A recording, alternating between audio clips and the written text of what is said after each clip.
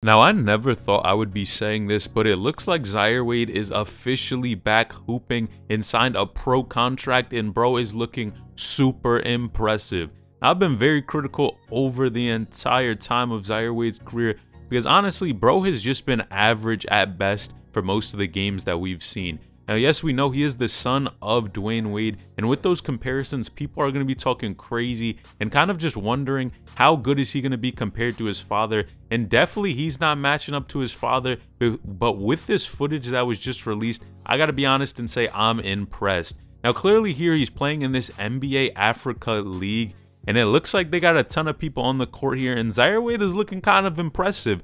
I mean, his jump shot looks there, he's knocking down his shots, his handles look pretty tight as well. And I think he's definitely getting better and improving a lot because this was a huge step for Zaire. Of course, we all know bro pretty much skipped college, tried to play in the NBA, and things were not working out this way. But I think this may be another potential way for Zaire Wade basically to grind, work on his game. He just signed this contract, is already looking pretty solid here, and then work his way to the G League and eventually the NBA. Now, personally, I always say one of the biggest components of about being able to transition well to the next level is just overall your confidence on the floor. Now, we saw Bro when he was playing in the G League, and he was barely averaging any points, probably less than 4 points per game, and playing around 19 or 20 minutes per game, which are just terrible stats, and clearly showed you he was just not ready for the regular NBA game. I think this is definitely a step in the right direction and kind of shows you that he's not done with basketball because he still is playing somewhere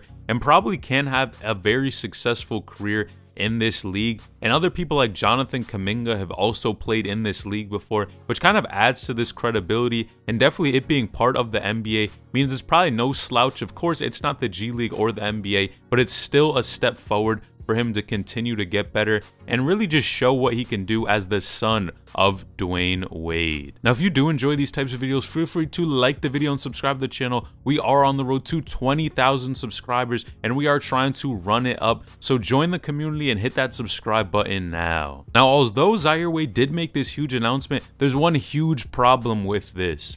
Just because Zaire Wade has this opportunity to play in this league does not mean he's going to be able to transition to the NBA or even the G League. You guys know when you go higher and higher into these leagues, the competition is even better. And if Zaire Wade, of course, really did not play well, even back when he was in high school and even, of course, in the G League, I think it is just going to make it 10 times harder for him. And he's really going to have to train and focus. And honestly, if I was bro, I would just be training with his father because at this point, he, this is really one of his last opportunities to make it out and try to make it to another league. Of course, to be honest, a lot of the opportunities that he is getting is because his last name is Wade. And I can't hate him for that because at the end of the day, if you have an opportunity to finesse and use your last name to make it into a door, you might as well take it. But I think uh, it's going to take more than just his last name for him to be able to actually stay in some of these leagues because you got to prove yourself, man. If you already played bad in the G League, people are looking at your track record